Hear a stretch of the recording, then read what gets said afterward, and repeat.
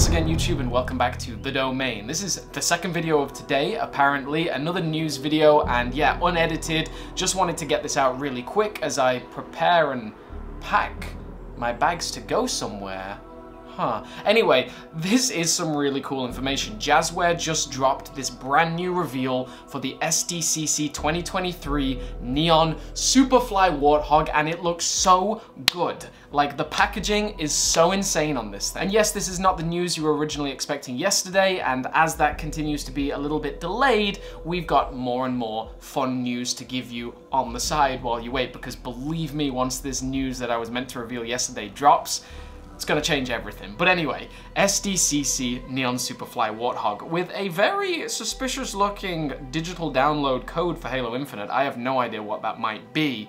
And we gotta reflect quickly on what they did last year. Now, I thought they couldn't top the packaging of the last one. This was already insane, but this is so much cooler in every way. And last year's was just a basic repackage, right? Like it was the Master Chief and the weapon, it's one of my favorite figures, and it was a quick little repackage.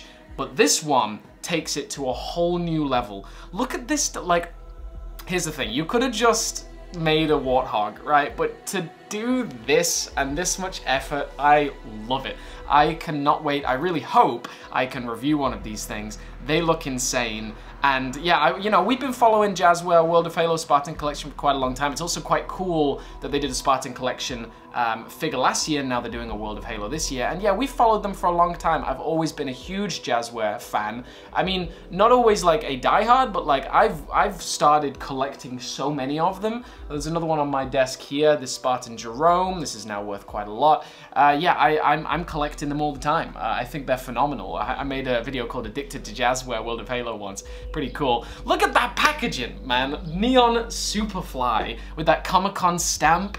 Mmm. It's just a crate. It's uh, mm, I I I think that's some of the cleanest packaging I have ever seen. Congrats to whoever designed that. Spot on job. Yeah, it looks like some kind of service elevator or maybe a shipping container. It's really dope. And when it opens up, it's got that Warthog inside. Look at that detail of the Spartan Celox. I think the only time we've ever got a Spartan Celox was with the Gungoose. Maybe there's been another, but I remember that one fondly. It's a great set. That Celox looks dope. And also, at the same time, Jazware are doing this, Mega has the multiplayer uh, Mayhem set that's coming out as the Mega Halo fan vote that we voted on several rounds for this year. So crazy that both companies are planning Superfly, Neon Superfly. It kind of makes me feel that like maybe 343 shared some data with them and polls clearly indicated that Neon Superfly was the most popular design for Halo fans. I mean, I wouldn't be surprised if it was the most popular um, Warthog in the game.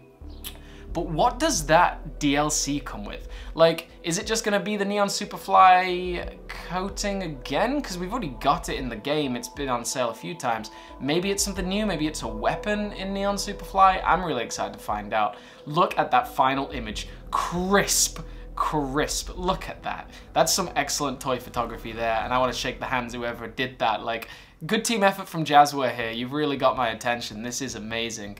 Uh, just a quick news update today, guys, and I can't wait to see the comments speculating on why I'm packing my bags right now. But yeah, um, more news coming soon. It might be today, it might be tomorrow, but just be patient, and um, once a lot of this other news drops that I've been super cryptic about, the payoff will be exceptional. And of course, the fact that we're getting a Call of Duty figure is really dope because we've never had them before and it's clearly the start of a new line. I'd seen some leaks before, but honestly, good for Jazware. If they have both the Halo and the Call of Duty line, that is a really cool, secured place in this, like, in the the stratosphere of adult collector toys. And also, I've heard that this uh, new this new Warthog will be limited to a thousand units. Thanks for tuning in. This was another video with the Domain. Shout out to Jazware, World of Halo, Spartan Collection, and the Domain is signing off.